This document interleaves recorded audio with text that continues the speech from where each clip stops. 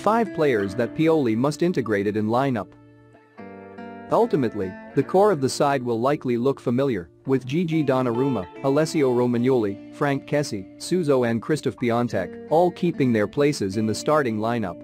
While it's hoped that the 53-year-old is prepared to drop big names if they are underperforming, there is a threat that he will perhaps play it safe and rely heavily on the same players who have let us down with their inconsistency time and time again in recent years. With that in mind, there are five players who Pioli must now integrate into his starting 11 on a consistent basis, and if added to the core group of Donnarumma, Romagnoli and Piatek in particular, he may well not only win over the supporters who reserved a fierce backlash to his appointment earlier this week, but it might also lead to positive results too. 1. Mattia Caldara the Rossoneri finally welcomed the centre-back to training with the rest of the group this week, and the target is for the Italian international to get minutes under his belt in November. A degree of patience will be needed in this instance, but there is surely little doubt that he offers a more complete and concrete option next to Romagnoli, ahead of both Musacchio and Leo Duarte. His biggest challenge is staying fit and steering clear of injuries. If he can do that, Pioli must bring him in and start building that partnership in the heart of the backline. 2. Ismael Bennacer.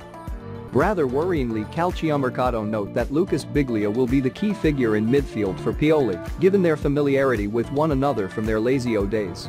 If he can miraculously get the 33-year-old playing at an elite level in Milan or winning games, there will be no complaints. However, we've seen his limitations, and there is a strong argument that if we want to move forward and make long-term progress, we must stop going back to the old faces.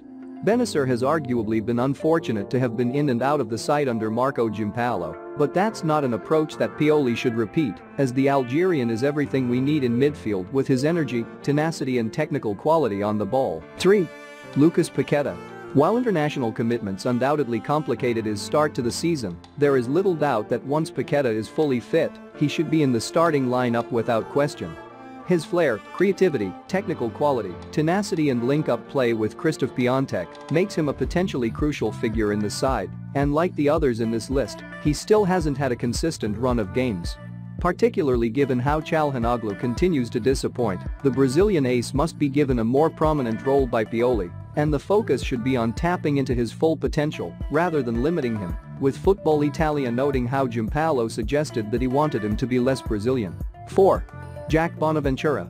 It was a joy to see him back in the starting 11 against Genoa, as his intelligence and reading of the game still sets him apart from many others in this current squad. If Pioli adopts a 4-3-3, it could be that he's deployed on the left flank with Paqueta as a Mezzala, or if it's a 4-2-3-1, he can be used on the left of the trio behind the frontman. Either way, whatever formation, Bonaventura must start for Milan as he has seemingly put his injury woes behind him and can now return to being a pivotal presence in our attack. 5. Rafael Leão.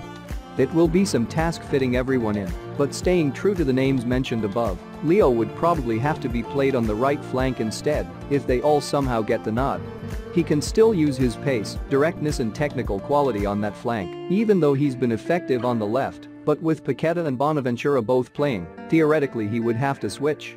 That would of course involve Suso being dropped, and while there is a feeling that Pioli won't do that, he'd arguably be making a big early mistake if he didn't allow Leão to build on what has been impressive start to life with us so far this season, as it was a baffling decision to leave him out last weekend.